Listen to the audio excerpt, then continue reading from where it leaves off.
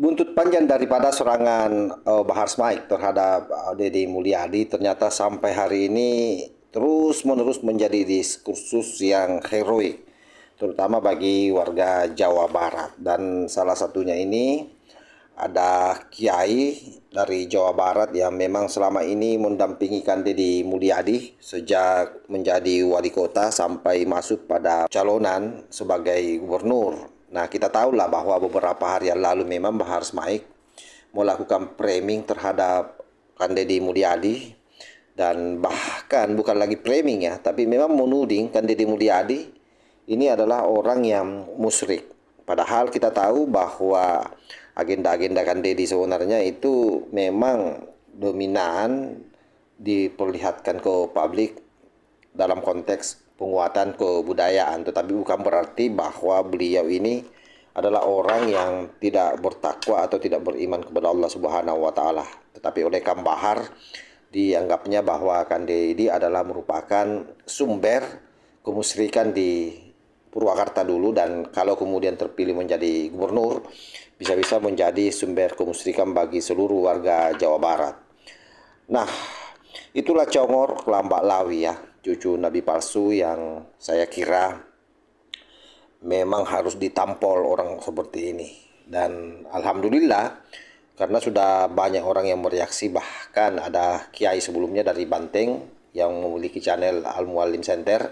Dan kali ini Kiai Jujun dari Sunda ya dari Jawa Barat ikut memberikan tamparan keras terhadap Congor si Bahar terkait dengan tudingannya atau tuduhan kejinya terhadap Kandedi Mulyadi.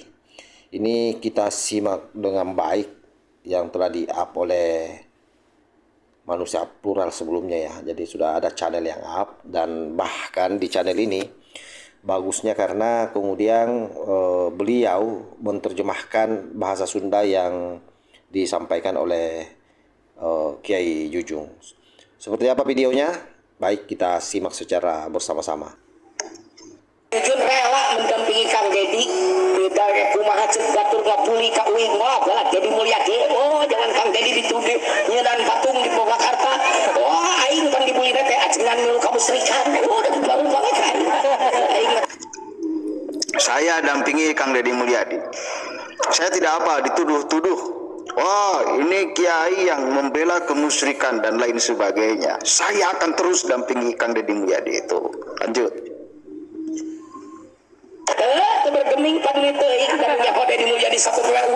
karena yang tahu Kang Deddy Mulyadi sehari-hari itu saya. Kata Kiai Jujun lanjut. Meninggali sholat Deddy Mulyadi wih menjauh puasa Deddy Mulyadi wih.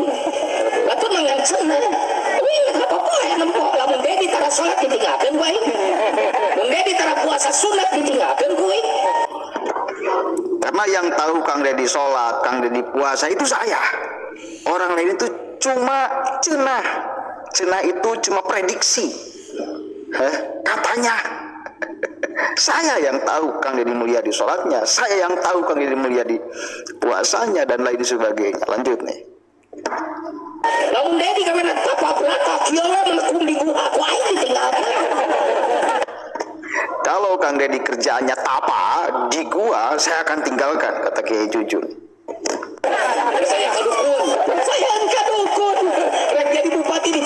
Ay,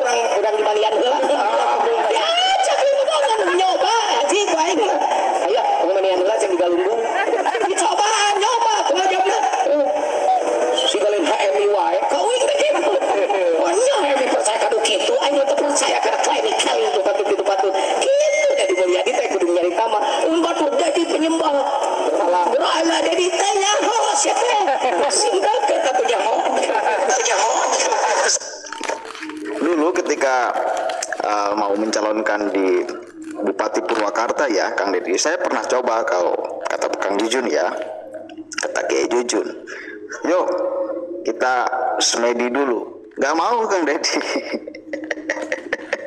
Masa saya percaya ke dukun? Saya itu HMI. HMI itu adalah salah satu organisasi di mahasiswa ya. Saya PMI, Pergerakan Mahasiswa Islam Indonesia. Ada HMI, Himpunan Mahasiswa Islam Indonesia. masa HMI percaya klinik-klinik kayak gitu dukun-dukun? Nggak nggak saya nggak percaya. Itu kata Kang Deddy. Jadi praktek-praktek selama ini yang dilakukan oleh Kang Deddy itu khusus benar-benar merumat kebudayaan. Coba lanjut dulu lanjut dulu lanjut dulu nih syariat biasa opat rokaat empat rokaat tilu rokaat empat rokaat dua rokaat puasa sunat sunat sampai kemis. Ini di PSM tapi kayaknya terlalu jujur jujur di Matara senin kemis.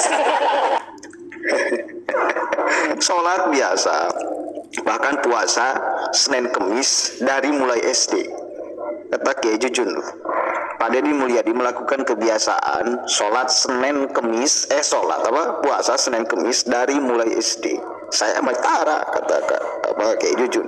Saya emang nggak seperti itu. Ya artinya kesolehan spiritual secara agama Kang Deddy Mulyadi itu jangan diragukan, nggak usah diragukan. Justru kesolehan agama Bahar itu yang mesti diragukan. Kesolehan spiritual Bahar Smith itu yang mesti diragukan. Yang punya bacot yang tidak bisa dijaga, kelakuan yang tidak bisa dijaga. Nggak tahu dia puasa Senin Kamis atau tidak. Eh, artinya kan itu sedang Mulyadi. Ini penting kemudian untuk diketahui oleh warga Jawa Barat khususnya agar jangan sampai tergiring narasi sampah oleh si Bahar Smith itu.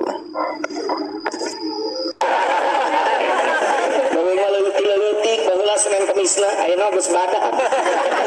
Sila teuing tapi dari mulai TSM tapi kayu naudzubillah makanya silakan Anda menfitnah silakan aya lagu ge aya lagu teh lagu khusus ke Kang Dedi anu banyak orang berpikir apa pun namun tiba-tiba mata orang mulai terbuka. Oh manen cinta. Manen cinta ya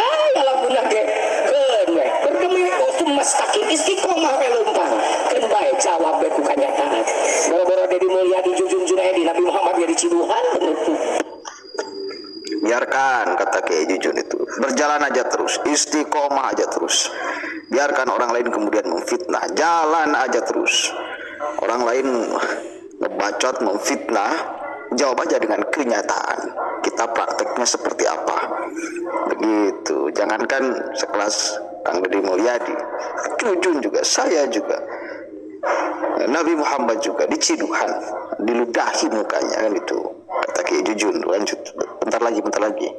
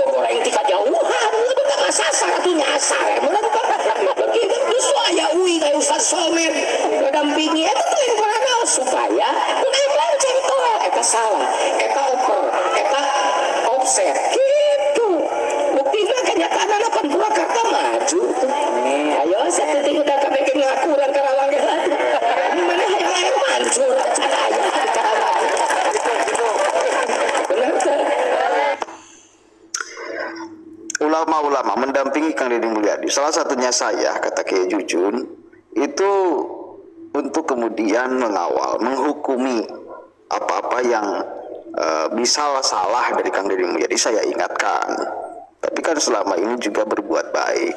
Purwakarta buktinya maju. Ya semua orang mengakui itu. Itu. Jadi jangan menganggap bahwa ulama yang dekat dengan Umaro itu buruk terus ulama su itu kan doktrin mereka mereka Oke, saya kira uh, jelas ya apa yang disampaikan oleh Kiai Jujung. Artinya bahwa uh, Premingam Bahar saya kira sudah terpatahkan dari beberapa pernyataan Kiai yang secara langsung mau nampol Bahar Smaik.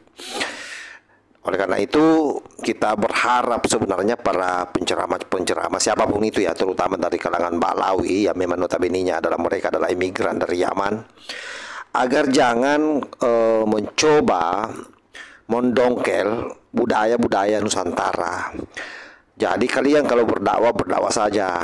Jadi kamu bahar dengar itu tidak boleh budaya-budayamu dari negara sana, dari Timur Tengah, dari Yaman itu kau bawa ke Indonesia. Karena itu saya kira melanggar apa yang dilanggar ya aturan-aturan yang ada di negara ini yang sudah menjadi kesepakatan para leluhur kita. Selama itu tidak merusak akidah kan seperti itu. Di situlah kehebatannya sebenarnya Wali Songo pada saat membawa Islam masuk di Nusantara ini karena betul-betul mencoba mengawinkan antara budaya dan agama. Jadi eh, betul-betul larut di tengah-tengah masyarakat dan tidak menabrak budaya yang ada sehingga bisa diterima dengan baik ini Islam di Indonesia khususnya. Saya kira demikian ya.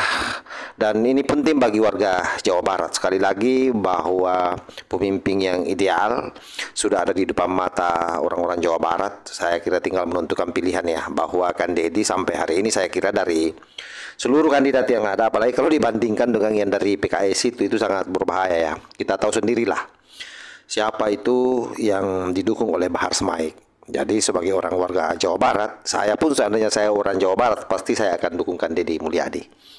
Jangan sampai lagi memilih orang-orang yang kira-kira menjadi influencer adanya penghancuran-penghancuran budaya di negara ini. Nah, contohnya secara terang-terangan itu dilakukan oleh Bahar Smaik.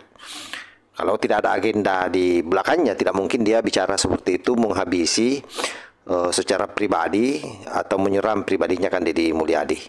Saya kira demikian sahabat. Wallahul muwaffiq ila Wassalamualaikum warahmatullahi wabarakatuh.